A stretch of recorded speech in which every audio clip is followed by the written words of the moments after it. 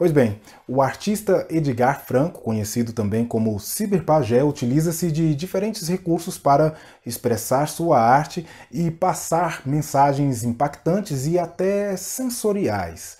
Seu último trabalho, lançado recentemente, é uma alegoria que trata das relações humanas com a Gaia.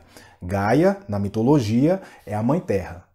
O conceito que está por trás deste EP ele trata-se de uma ficção científica hiperreal em três atos, uma alegoria visceral da relação da humanidade com Gaia e a natureza cósmica. O 666 do título refere-se à espécie humana como seu próprio mal profundo, sofrendo as consequências da devastação planetária e da desconexão com a natureza. E essa é a crítica, a reflexão em relação à pandemia, nós, a humanidade, nos desconectamos da concepção de que somos parte da natureza e precisamos nos reconectar. Para conhecer mais sobre o trabalho e ouvir as produções musicais é só entrar no blog do artista, ciberpagé.blogspot.com.